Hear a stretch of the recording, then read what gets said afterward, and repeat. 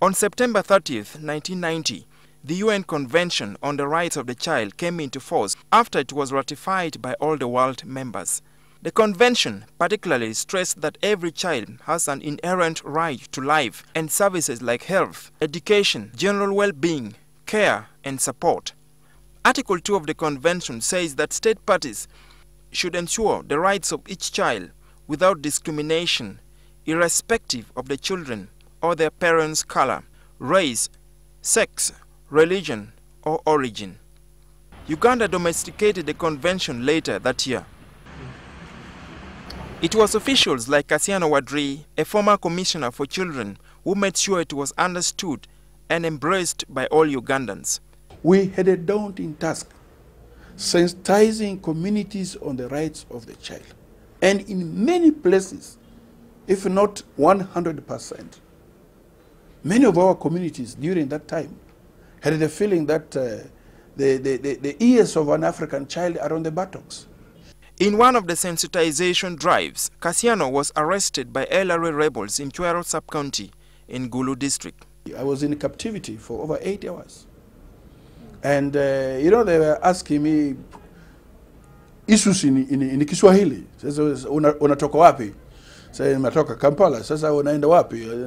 Nimekuja kufanya kazi.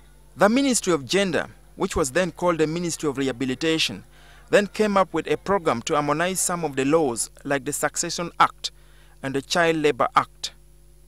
So that you don't have to say under the Approved Schools Act the child is this, Reformatory School Act the child is this, Probation Act the child is this, Affiliation Act the child is defined this, under Succession Act the child is defined this. We realized that a child was a child, regardless of the nature of circumstances in which he or she is.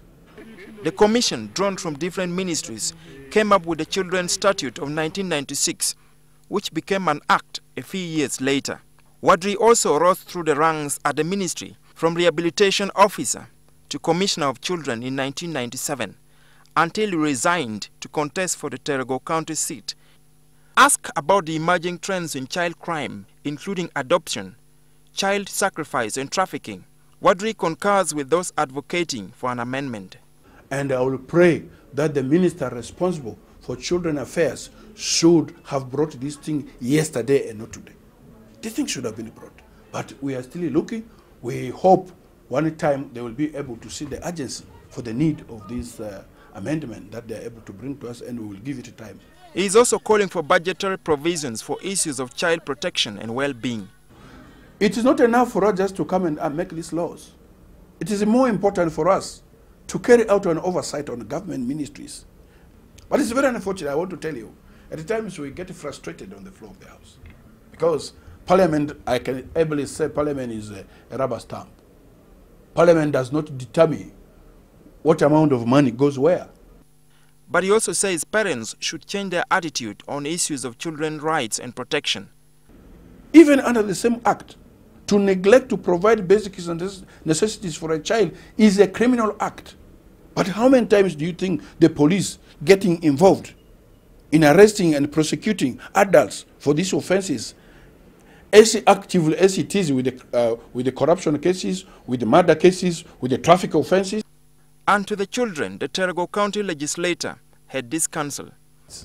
They thought that rights were absolute, that you as a child can do anything and get with it without having a you know, recourse to correctional measures. And they also failed. And it was our responsibility to explain to the public that rights go with responsibilities. Wadri held several positions at the ministry since he joined as a junior regional officer in 1981. He has represented the country at several international fora on children. As the world marks the 25th anniversary of the ratification of the Convention on the Rights of the Child, UNICEF, Uganda Child Rights NGO Network and NTV have partnered to profile individuals like Wadri for their contribution to the protection of children.